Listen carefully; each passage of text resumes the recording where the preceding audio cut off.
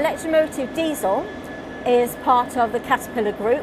This is a new facility, it's been open since last November. Um, we built it, we invested just over £6 million. There was a real hub of um, staff, experienced engineers already here and looking for work. We're happy to invest and give time to train young people, but we need support in doing that. And I think HS2 gives us that opportunity to start and build for the future. Rhomberg Sersa of the Rail Group, uh, Austrian Rail Group.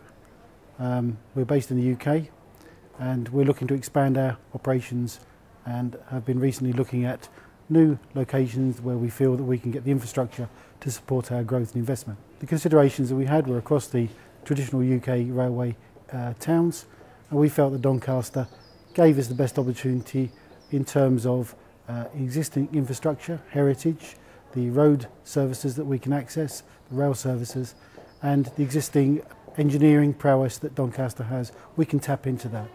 And we feel that we can offer and invest in this Rail Academy so that we can increase our um, engineering expertise going forward.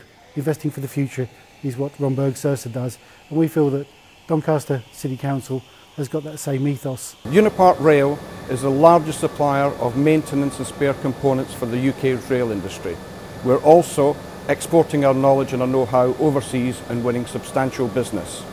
As far as the uh, application for HS2 college is concerned, we're absolutely convinced that Doncaster, with its unique combination of a deep rail heritage combined with the cluster of railway companies, should be in pole position for this absolutely essential college.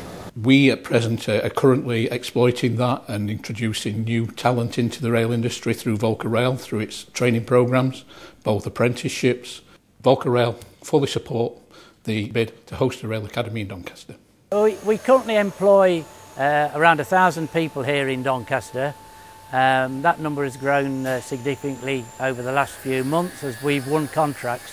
And these are long-term contracts that we have secured. Yes, securing the Rail College uh, for Doncaster will go a long way to addressing the skills shortage that we are currently experiencing, uh, particularly for uh, engineers.